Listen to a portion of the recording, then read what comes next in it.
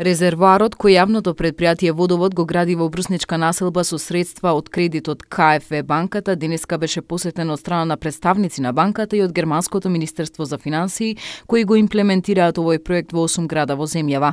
Die Bundesregierung unterstützt Mazedonien mit einem Wasserprogramm, an dem acht Städte partizipieren.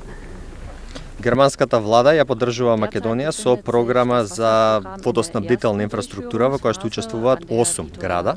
Во моментот проектот е во првата фаза во која што учествува и градот Битола меѓу другите и ова градилиште кое што го гледате тука е финансирано од тој проект.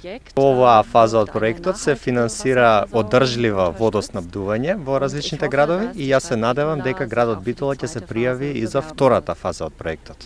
Градот Битола е токму на време, брзо и вредно се спроведуваат работи. Општина Битола е гарант на тој кредит. Околу 30 на проценти од населението практично во средната и високата зона, зборувам практично физички поставеноста на самите објекти, ќе се снабдуваат практично од овој резервоар. Другите 70 на проценти се во понискиот дел и се снабдуваат од веќе постоечките резервоари. Вредноста на овој кредит е околу 2 милиони евра, така што тековно ќе се прават сите фази за реконструкција, обнова, осовременување и понова а, технологија на сето на што значи водоводна мрежа Овој резервоар со капацитет од 2000 метри кубни вода и има намена за непрекинато снабдување со вода на околните домаќинства во случај на дефект во средната зона.